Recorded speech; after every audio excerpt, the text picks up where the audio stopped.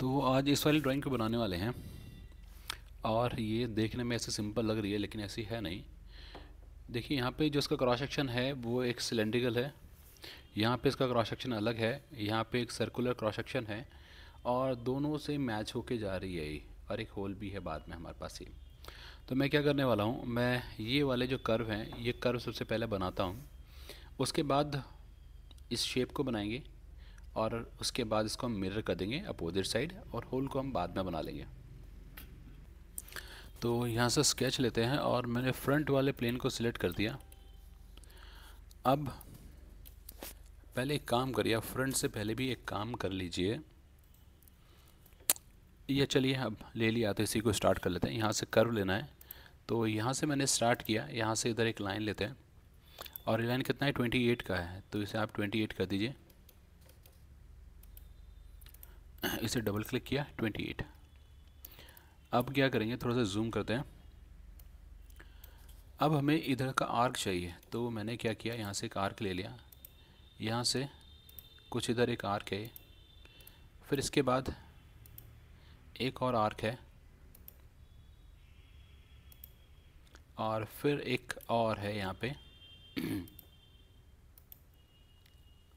गलत हो गया। इसे डिलीट करिए, ये नहीं है। आर्क है या सर्कल ले लीजिए। चलिए, सर्कल लिया मैंने। मैं सर्कल ही सोच रहा था तो ये इस तरीके से मैच हो जाएगा। अब थोड़ी सी डायमेंशन कर लेते हैं। ये और ये टेंजेंट है, जो कि अच्छी बात है, और यहाँ से 14 का रेडियस हो जाएगा। इसके बाद ये जो सर्कल है, इस सर्कल को इसके साथ मैं मैच कर देता हूँ। इसका डायमेंशन कितना दिया हुआ है? 26 का रेडियस 26 का डबल हो जाएगा।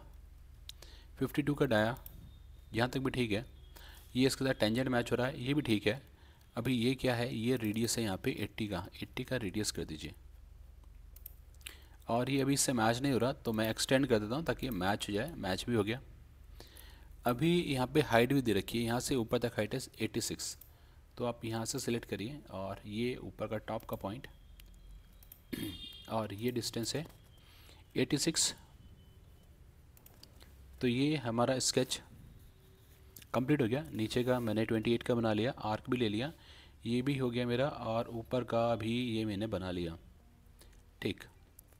अभी अंदर वाला जो कर्व है उसको बनाएँगे। तो क्या करिए लाइन लेते हैं। यहाँ से एक लाइन ली। फिर आर्क चाहिए। आर्क ले लेते हैं।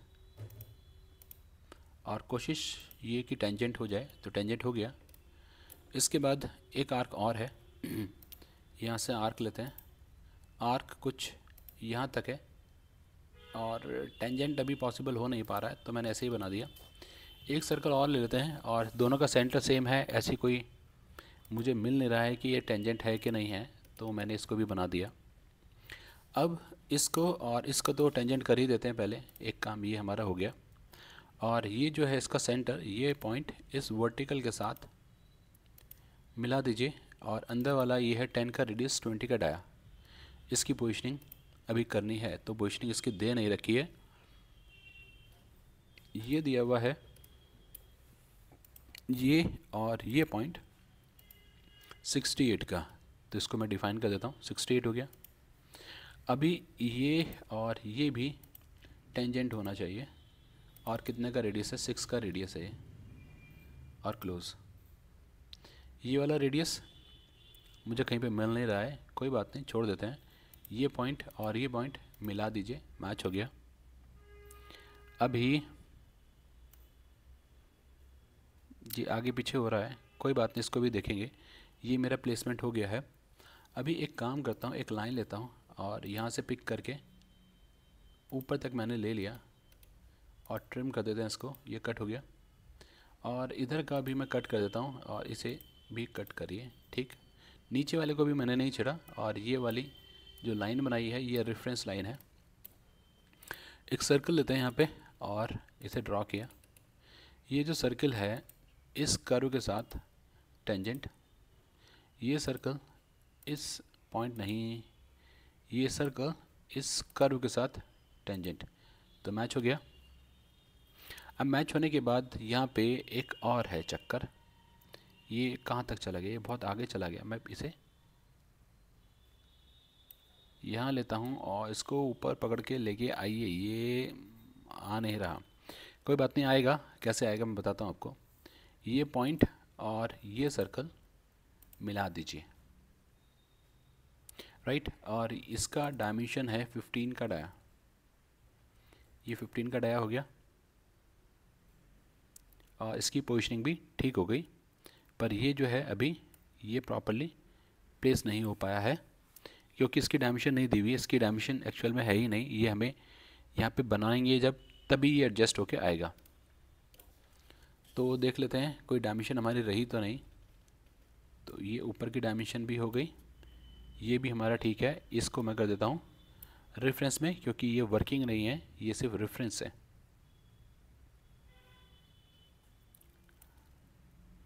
एक काम कर लेते हैं, इसे मैं ड्रैग कर रहा हूँ, कहाँ जा रहा है? इसे डिलीट कर देते हैं। और फिर से लेते हैं, यहाँ से मैंने पिक किया और यहाँ से मिलाया अब आप क्या करिए, ये जो पॉइंट है और ये जो सर्कल है, दोनों को भी कॉन्सिडेंस कर देते हैं। मैच हो गया। और क्या करेंगे, ये जो है और हमारा ये वाला कर्व दोनों को कर दीजिए टेंजेंट अब ये मैच हो गया। इसको सिलेक्ट करेंगे और इसको भी सिलेक्ट करिए, दोनों को कर दीजिए टेंजेंट ये भी ठीक आ गया है।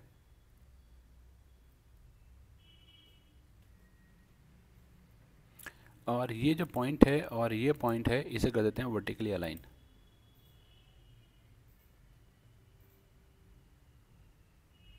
नहीं, अभी भी ठीक नहीं मैच हुआ। तो ये जो था 28 था, इस 28 का हाफ़ करना पड़ेगा 14 आप इसको 14 कर दीजिए। अब देखते हैं तो ये पोर्शन ऊपर का ठीक है, ये भी ठीक है, और ये शायद जो पॉइंट है, मैंने आखिरी में मिलाया था, मुझे उस पर हल्का सा डाउट जा रहा है। तो उस पर रुकते हैं टेंजेंट ये ठीक है, ये जो पॉइंट है, इसे डिलीट कर देते हैं। अब ड्रैग करें इसे। नहीं। ये पिक किया। ये जो एंड पॉइंट है, ये पॉइंट ऑन कर्व आ रहा है।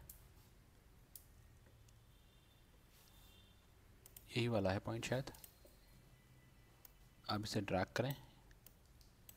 अभी भी नहीं आ रहा है। कोई बात नहीं, मैं इसे डिलीट ही कर देता हूँ। दोबारा से बना लेंगे।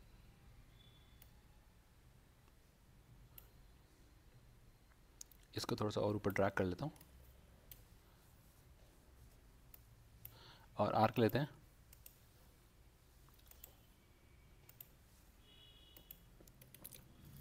इसको और इसको। आर्क डिफाइन करिए। रेडियस यहाँ पे ठीक है। और इसको और इसको सिलेक्ट करके आप कर देते टेंजेंट अंडू करिए। और थोड़ा सा नीचे ड्रैग कर लेते हैं। अब इसके आसपास आ गया अब ये मैच हो गया।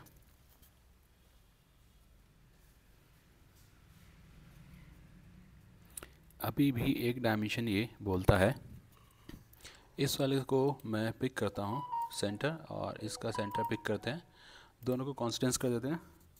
अभी प्लेस हो गया है, आप ट्रिम कर दीजिए। ये मैंने हटा दिया, ये भी हटा दिया। और हाफ़ पोर्शन ही मैं यहाँ पे रखता हूँ। क्लोज स्केच मेरा फुल्ली डिफाइन हो गया।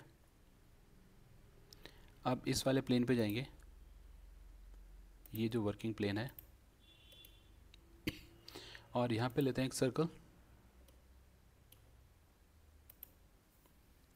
और ये सर्कल मैंने इससे मैच कर दिया। सर्कल यहाँ पे जो है येरा नाइन का रेडियस है। तो ये नाइन हो जाएगा। और ये एटीन हो जाएगा राइट और इसको नीचे वाले से मिलाना ही पड़ेगा तो हल्का सा रोटेट करिए। ये पॉइंट और ये मैच ओके और इसको डिलीट कर देते हैं। अब ठीक है। ये सेक्शन इसका डिफाइन हो गया फिनिश कर दीजिए। अभी इधर ऊपर भी मुझे कोई क्रॉस सेक्शन चाहिए, जो कि है सेवन पॉइंट फाइव का। तो क्लिक करते हैं। और एक साथ भी बना सकता था, लेकिन मैं अलग ही बना लेता हूँ। यहाँ पे क्लिक किया और इससे ट्राई किया मैच करने का, और ये है 15 का। ये पॉइंट और ये दोनों को मिला दीजिए। तो रेडियस डिलीट करनी पड़ेगी, कोई बात नहीं, कर देते हैं। ये जो पॉइंट है वर्टिकल के साथ अलाइन आगे क्रॉस सेक्शन। अब ये मेरी शेप बन गई है। इसी को बनाने में ही आपको टाइम लगना था। मेहनत जो लगनी थी वो इसी में ही है। अब लेते हैं स्वेप्ट और स्वेप्ट लेके मैंने कहा पहला क्रॉस सेक्शन ये होना चाहिए। ऐड दूसरा क्रॉस सेक्शन ये होना चाहिए। ऐड गाइड कर। मेरा गाइड कर होना चाहिए ये वाला। ऐड दूसरा गाइड कर होना चाहिए ये वाला। और कोई एरो की डायरेक्शन नहीं नहीं कर्व इंटरसेक्टिंग आ रहा है। आप देखिए, ठीक हो गया? और ये लीनियर है क्यूबिक करेंगे क्यूबिक हो जाएगा। और प्रिजर्व शेप करने की ज़रूरत नहीं है सिंपल ओके कर दीजिए सॉलिड हो गया। इसी को ही मैं कर देता हूँ मिरर तो आप यहाँ से ले लीजिए मिरर ज्योमेट्री सेलेक्ट करते हैं प्लेन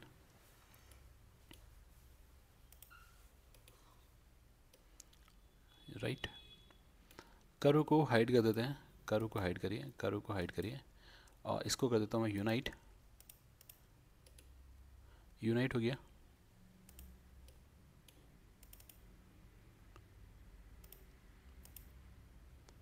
ओके अब ये एक होल है जो कि हमें कट करना है। यहाँ से मिल रहा है मुझे। और M8 का ये होल है। अब इसकी पोजीशनिंग के लिए मैं क्या करूँगा? यहाँ से प्लेन ले लेते हैं, क्योंकि सिलेंड्रिकल है तो मैं ले नहीं पाऊँगा। और ये ऑफसेट 918 ओके और या तो आप पॉइंट डिफाइन कर दीजिए या डायरेक्टली होल ले लीजिए, मैंने होल लिया, और इस फेस पे क्लिक करते हैं। पॉइंट यहाँ पे मैंने बना दिया।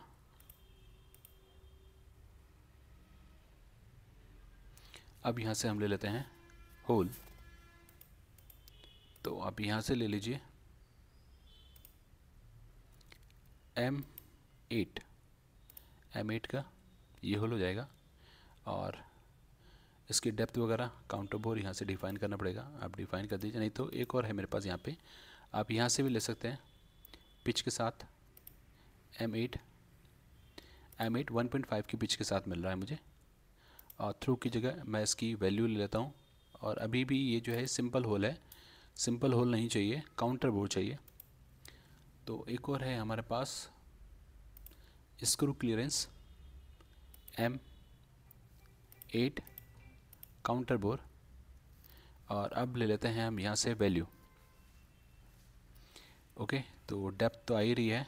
इसका डेप्थ कितना है? 2.5 2.5 के लिए कस्टम 2.5 का डेप्थ है। और ये, सॉरी, डाया डाया तो 12 का है। और ये जो है डेप्थ, ये डेप्थ है हमारी 2.5 और डायमीटर नीचे वाला जो डायमीटर है वो 9 का ही आएगा ओबियसली और बस इसे हम कर देते हैं। ओके।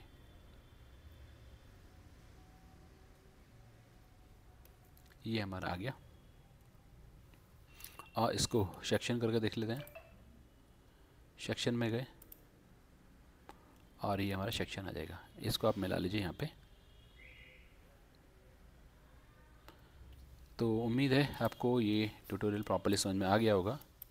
चाहें तो उसको आप कलर कर दीजिए। कोई मटेरियल असाइन करना चाहते हैं मटेरियल असाइन कर दीजिए। और यहाँ से जाके सिलेक्ट करिए।